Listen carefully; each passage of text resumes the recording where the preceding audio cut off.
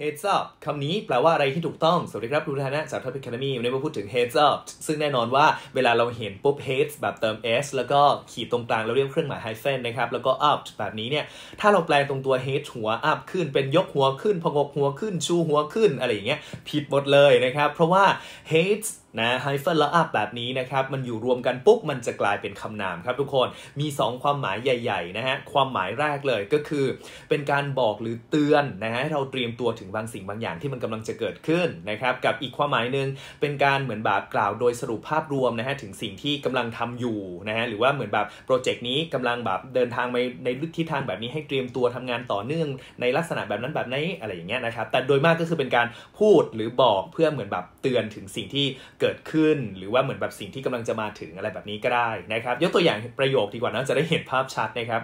อออย่างอันแรกนะฮะเช่น the notice just give us uh, heads up that Wiki will be arriving next week นะก็คือเหมือนแบบข้อความตรงนี้เนี่ยนะฮะก็คืออส่งเตือนเพื่อที่จะเหมือนแบบแจ้งให้เราว่าวิกกี้เนี่ยกำลังจะมาถึงในอาทิตย์หน้านะ ให้เตรียมตัวเตรียมพร้อมให้ดีเลยนะ เธอจะมาถึงแล้วนะ อะไรแบบนี้นะครับนะส่วนอีกอันหนึ่งก็จะเหมือนแบบเช่น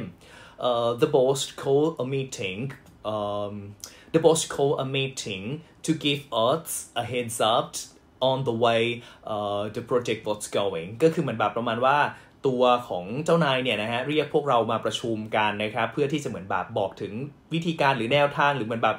กล่าวโดยภาพรวมข้อสรุปเนี่ยว่าเหมือนแบบโปรเจกต์มันกำลังทำสิ่งนั้นสิ่งนั้นอยู่สิ่งนั้นสิ่งนี้อยู่อะไรเงี้ยให้เราทำยังไงต่อให้เราดำเนินการยังไงต่อเตรียมตัวยังไงต่ออะไรแบบนี้ได้นะครับเพราะฉะนั้นเนี่ยก็ถ้าเจอเนาะ heads up แบบนี้นะครับอย่าไปแปลว่ายกหัวขึ้นโผล่หัวขึ้นอะไรไม่ถูกเลยนะครับ heads up ก็จะแปลอย่างที่บอกไปฮะเป็นการบอกหรือเตือนเพื่อที่จะให้เราได้เตรียมตัวสำหรับบางสิ่งบางอย่างที่จะเกิดขึ้นนั่นเองนะครับ ก็ถ้าเห็นถ้าเจอก็แปลให้ถูกต้องนะครับ